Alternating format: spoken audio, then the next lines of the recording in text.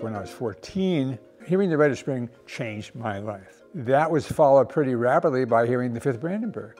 And that was followed pretty quickly by hearing Charlie Parker, Miles Davis, and drummer Kenny Clarke. And started going down to Birdland to hear Miles Davis and Bud Powell and, you know, bebop. So all of that really was like, you know, junior high school, high school life. At Cornell, I did study music with William Austin, who was a really first, first-rate musician and a great musicologist.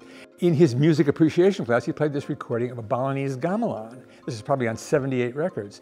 I thought, you what is that? That's really beautiful. What is that?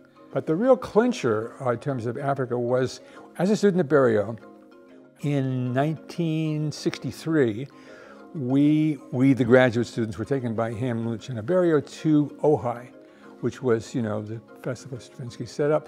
And they had the visiting dignitaries of the day, and they included Gunther Schuller, who was at the time beginning his history of jazz in America.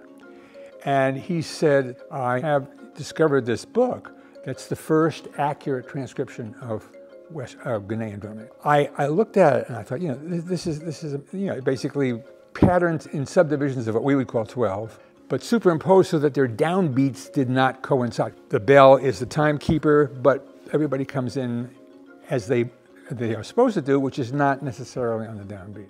This uh, made me feel like, well, it's great to see it in a book, and, uh, but it would be great to go and actually play it.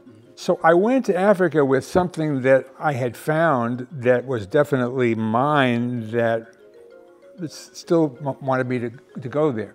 I was the 14-year-old drummer getting a pat on the back saying, yes, you know, stay with that, stay with the percussion. You know, this is like late 60s, early 70s.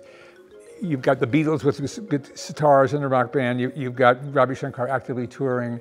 Everybody and his brothers interested in Indian music. But what I really felt was, as a composer, what I can learn is from the structure of this music, not the sound of it. So the fact of the matter is it's something followed by itself at some musical interval, some rhythmic interval, and you tell me what it sounds like. That's a very powerful idea, I think.